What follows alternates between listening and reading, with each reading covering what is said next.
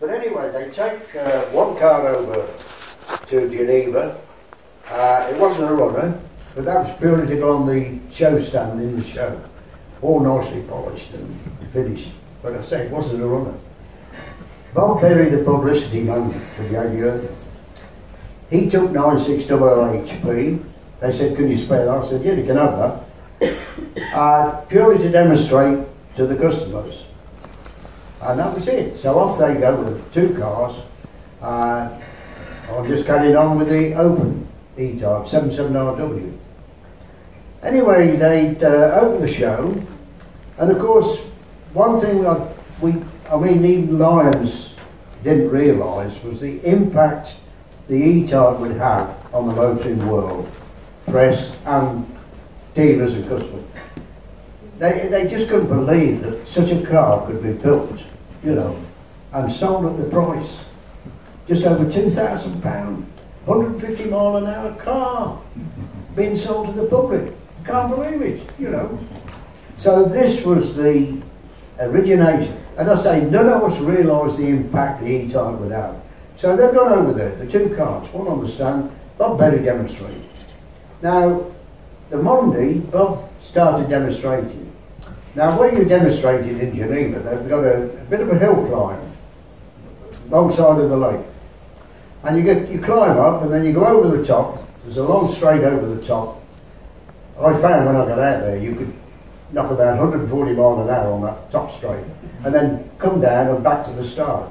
Drop the customer out, take another one, doing all that. So Bob Berry, you see, when he started on the Monday, the queue for, for, for, for the E-Type, he said, I can't cope, I can't do this.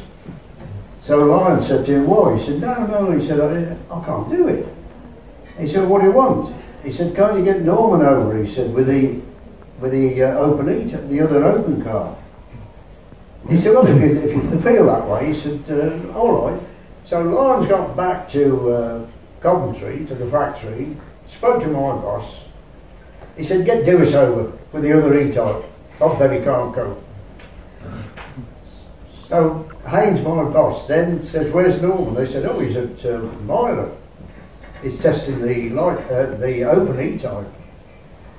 So he gets on to Frank Dolby, he's the track manager, said, get Norman off the track straight away, send him back. so I'm doing these brake tests. Dolby comes out in his Land Rover, stops me, he said, Norman, I said, yeah. He said, they want you back in the factory. I said, well, I don't. He said, it's urgent, they want you back. So I go back to the factory, and uh, there's Haynes, uh, two or three fitters, and uh, I drive in, in the experimental shop, get out of the car, and I said, what's going on? He said, oh, Norman, he said, uh, you've got to get this over to Geneva. I said, what? Oh, I see. I said, it's, it's got all my brake equipment in it. I mean, you have line pressure gauges, decel gauge, pedal pressure gauge, all this is in the car, and this is what I'm doing the brakes. He said, don't worry, these guys are going to take it all out and get it all polished and clean. So I'm thinking, oh, so that's all right, I'll go off in the morning. So I said to Haynes, I said, all right, I said, I might as well go home now then. I said, I'll uh, pick it up in the morning. He said, what? I said, no, you get it ready for the morning one. He said, you've got to go today, tonight. I said, no way. he gave me this envelope. He said, uh, there's your boat pass. I said, oh, when am I going? He said, from Ostend to, uh, from Dover to Ostend. I've done that several times, of course, when I did Jabbeke, you see. So uh, I said, I said, oh, there's no way I'm going to do this. He said, Norman, just try and do it. I said, all right, I'll go home and get my overnight bag, which I had, usually had an overnight back for these quick jobs. He said, it's already in your office. He said, we've been out. so I hung about and I left, when they finished the card, I left Coventry at uh, quarter to eight. I'd got to be at, at Dover for 10 o'clock. I mean, those days we didn't have the motorway, no motorway. But the A5 was pretty good. You could cruise down 75, 80 down there. So I set up, I say, quarter to eight. I go straight down to London, Edgware Road. It's a, it's a long road, Edgware, but it's all traffic lights. And uh, luckily for me, I, I went down Edgware doing about 65 because the first lights I hit were green and all the rest were green, green, green. I thought, this is great, great, I'm making it. Anyway, just before I got into Dover, I stopped and filled it up. I thought, well, I'll need enough fuel. Uh, I don't want to stop over there. So I filled it up, get to Dover, drive in the dockyard there, and I can see see this boat lit up. I thought, ah, there's a boat. Uh, and I've stopped, there's no nobody about, no cars. I thought. Then this guy came over with his uh, torch. He said, excuse me, sir, can I help you? I said, uh, is that the uh, Ostend boat? He said, yeah. I said, I've got to be on it. He said, sorry, sir. He said, you're too late. He said, uh, we close the gate, 10 minutes. I said, but it's not gone out yet. He said, well, it probably won't go out for another 20 minutes, but I'm sorry, you've got the gate's closed. And then his light, like, you know, shot on the uh, e-type and he said, what, what's this? I said, this is the new Jaguar e-type. Oh, he said, that's the one they've been on the radio, television. He said, all the motor world said, oh, it's, it's a knockout car. I said, well, this is it. He said, you've got to get to Geneva. I said, yeah. He said, hang on. So he got on his two-way radio and uh, said, you've got to let this guy on. He's got the new Jaguar E-Type. so they opened the gate, let me on, and uh, that's how, it, only the, I got the E-Type that I got on the boat. So I got over to Ostend. Uh, of course, all the crew and all that were waiting to see this car. got off at Ostend and I drove uh, from Ostend into Brussels then uh, I stopped twice to go behind the hedge, you know, a couple of times. That was about the only stops I had. And uh, I, I, drove non-stop all the way then, uh, as I say, then off the boat, straight through to Geneva. I got there, said if you could be there for 10 o'clock in the morning, that would be nice because all the press will be waiting and that. I got there 12 minutes to 10. Couldn't believe it.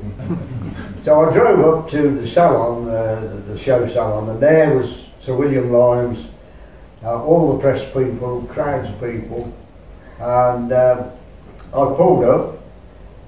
Lyons walked over and he just uh, looked at me. He said, he looked at his watch. He said, "Well done, Dewis. I thought you'd do it." And walked off. That's all the congratulations you got. And uh, so as I say, Lofty, Lofty England then came over, but he, he gave me a big hug. He said, "Norman, I don't know you've done it." He said, "But he said, you've got 12 minutes to spare. so I said, yeah. I said, well, I said, I've done my best. I said, where's my hotel? He said, what? I said, where, where, where am I staying? He said, why? I said, oh, I need to go to bed. I said, I've been in bed for two nights. He said, you haven't got time, you've got to get up there and start demonstrating. so that was it.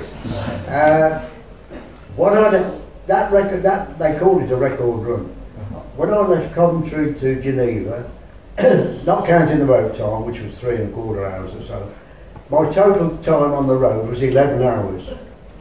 I'd average 68 mile an hour. And, uh, you know. and they, they, as they say, they call it. Now, the interesting thing is, uh, you know Top Gear, the new program is coming on. Top Gear they got me to go over to Geneva this year, wanted me there, because what they've done, uh, one of the guys, they were going to try and beat this 11 hours. so they had an E-type, and uh, the guy had a, an observer with him. He had sat nav. and I was, all, all this is, is for the film, you see, is I'm in the, I'm in the show, sitting there waiting, the cars comes in and I then get out the chair, go across to him and say, well, they said, you say what you like. I said, well, I'll think of some things. So the car comes in, all the lights are on, all the crowd are there. He stops, I get out of the chair, walk over to the, and open the door for him. And he's getting out, he said, are you Norman? I said, yeah. I said, where you been? He stopped for coffee. so that's all part of the film.